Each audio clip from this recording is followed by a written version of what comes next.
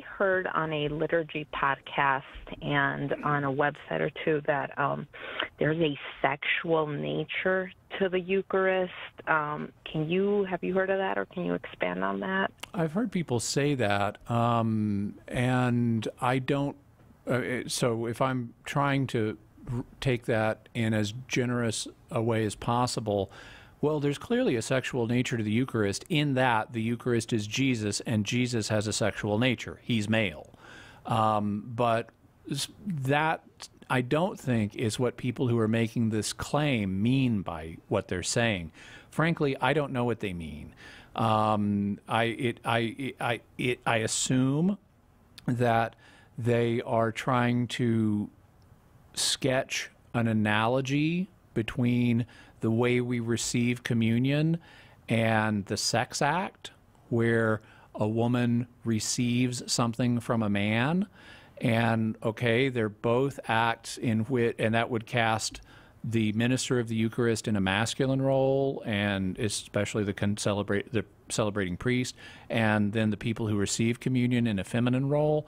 Uh, having said that, just because two things both involve a reception doesn't mean that that's a helpful analogy to immediately analogize something to the sexual act.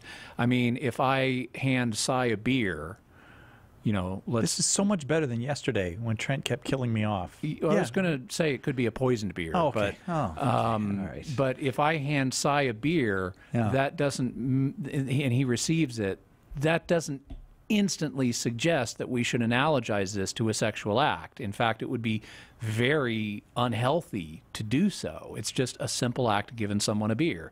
As even Sigmund Freud said, sometimes a cigar is just a cigar.